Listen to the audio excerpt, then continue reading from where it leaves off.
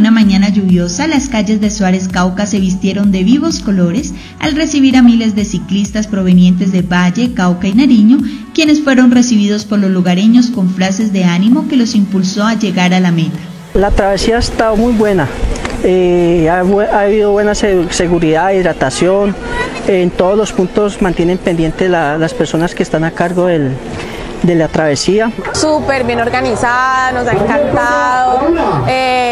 Pues primera vez que vengo y me gustó. La travesía salvajina por, por su fondo de 110 kilómetros es todo un reto, eh, un reto de vida. Nosotros los ciclomontañistas no tenemos el tiempo, cuánto nos demoramos y no a dónde fuimos y de verdad que esto es algo que nos va a marcar por mucho tiempo, queda en nuestra hoja de vida.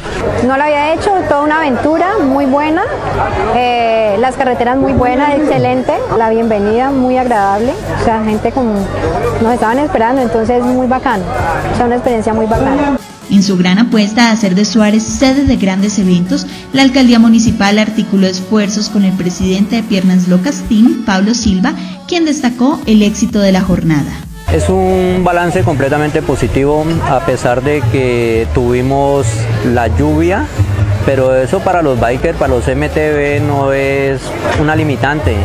Hubo mucho, mucha colaboración por parte de la alcaldía, por parte del ejército, de la armada, eh, la policía, también estuvimos en una reunión con las policías, con todas las entidades, con los propios funcionarios de la alcaldía, eh, estaba bomberos, está defensa civil, el hospital, fue un, gran apoyo. Entre tanto, el coordinador de deportes del municipio de Suárez, Oscar David Arango, habló sobre la importancia de Travesía Salvajina.